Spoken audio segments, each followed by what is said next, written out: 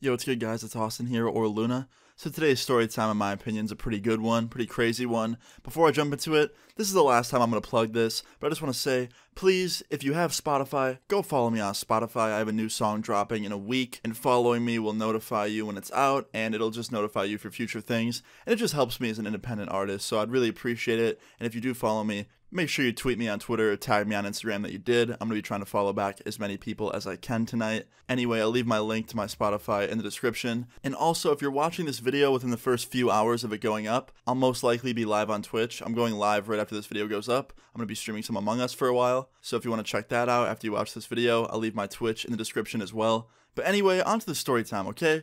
This story time takes place in 2018. This story is about the time that a crazy old lady tried to steal my dog. Yes, you heard that correctly. So this story time takes place in the summer of 2018, okay? I just bought my two Shiba Inu puppies. They're really cute. I'll put a photo of them on the screen. They're great. If you ever want to see them frequently, follow their Instagram in the description below. I think I've plugged the most in this video, more than I ever have, ever. Anyway, so yeah, those are my dogs. They're cute. Anyway, I just bought them. They were puppies. They were very small because, you know, Puppies are small, so the first month of having them wasn't too bad. I was taking care of them pretty well. And during this time, I was living in an apartment building, and I was one of the youngest people living there, so a lot of my neighbors were older. And a lot of them also owned dogs, and the dogs were way bigger than mine. So I had to be careful when I would take them for walks because sometimes dogs would try and get them. So anyway, one day I take both of my dogs out for a walk around the apartment complex, and we go like three times around the whole complex just doing laps and this one lady passes by who I've seen a few times while I was living there,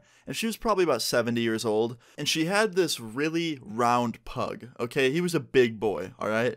And every time we'd pass by, it would try and bite my dogs, and they were pretty small, so you know, I was trying to be careful every time I'd pass by, because I didn't want my dogs getting hurt. And it was usually a really simple interaction. We'd walk by, her dog would bark at mine, mine would bark back, and we would both walk our separate ways and wave hello and goodbye to each other, or say it. It was never really anything too complex. But this time was a little bit different, okay? So this time, me and her are passing each other like usual, and her dog starts barking at mine, and then mine start barking back, and we pull the leashes so they're far apart from each other. And at this point, we would usually walk our separate directions and wave goodbye, but it went a little bit differently this time. She stopped, and she was like, Hey, do you live here?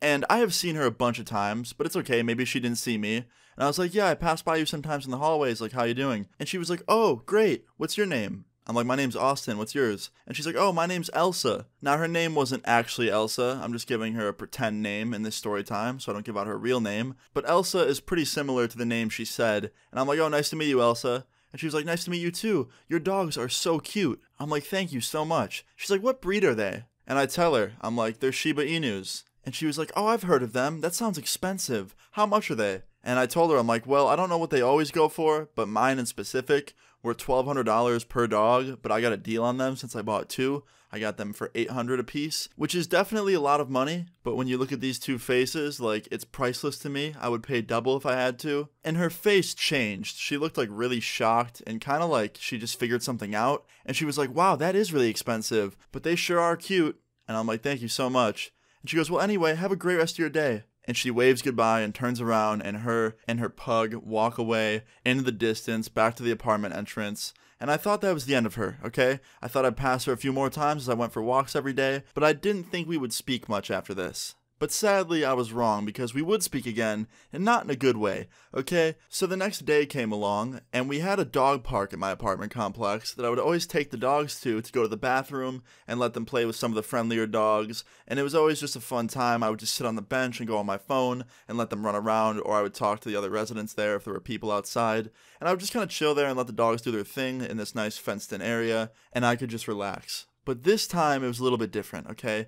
I got up, I went to take them out to the dog park like usual, my normal routine, and I go out there and nobody's out there with me, which was kind of nice sometimes because I would bring my headphones and I could just pop my headphones in and listen to music and just kind of relax by myself. So that's what I did. I put my two dogs in the dog park, I closed the gate, I locked it, and I sat down on the bench next to the gate and just started listening to music and watching my dogs run around in circles and chase each other and be cute and just have a nice relaxing morning at the dog park. Then all of a sudden, from a distance, I see that old lady coming down from the other side of the parking lot to the dog park, but I realize something, something a little bit sketchy. She doesn't have her dog with her.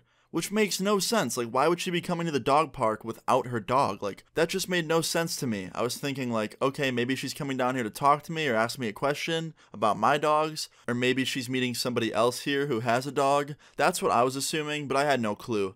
Anyway, she walks up to the gate where you let the dogs in, and then she looks at me, so I pop my headphone out and I wave to her, and she's like, Hey, how are you? I'm like, Good, how are you doing? And she was like, I'm doing great. I had a quick question. Do you mind if I hold one of your puppies? And I was like, Yeah, sure, why not? I was thinking to myself, you know, it's just some old lady who thinks my dogs are cute. Like, of course she can hold them, no big deal. So she opens the gate, and I call my dogs over to her, and they go over there and she starts petting them and she picks up the smallest one, Benji, and she's like, "Oh, he's so cute." And she walks out of the dog park with him and shuts the gate, which I thought was a little bit weird because, you know, the dog park was completely fenced in and if the dog slipped out of her hands, he could run away if they weren't in the dog park. But yeah, she brought him out of the dog park and she shut the gate and locked my other dog back in the dog park, and she was just sitting there like holding him and petting him right next to me. And all of a sudden, like a split second later, she gets up off the bench and starts running away with him. And I start laughing super hard because, you know, it's an old lady taking my dog and pretending to steal him. Like, of course that's funny, right? Like, I just thought she was making a joke, like a funny joke about stealing him because he was so cute.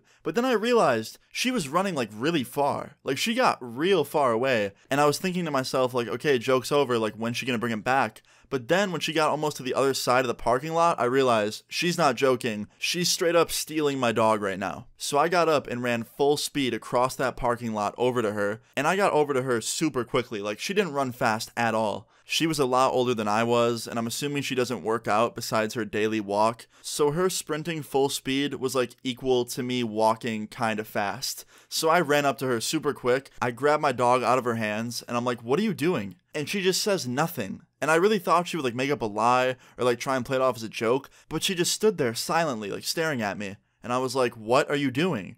And she goes, Nothing. I'm like, Did you just try and steal my puppy from me? Like, I know where you live. We live in the same apartment complex. Like, why would you even try that? And she was like, Just please don't tell the landlord about this. And she had like attitude, like anger in her voice at me. And I'm like, of course I'm telling the landlord about this. You just try to steal my dog on the property. Like, what? I'm thinking about calling the police while I'm at it. And she's like, okay, fine. And she turns around and walks inside the apartment building and goes to her apartment. So I take my dog back to the dog park. I grab my other dog, I put them on their leash, and I go back inside to my apartment and I call the landlord immediately. And I'm like, hey, a resident just tried to steal my dog from me. And she's like, wait, what? Who?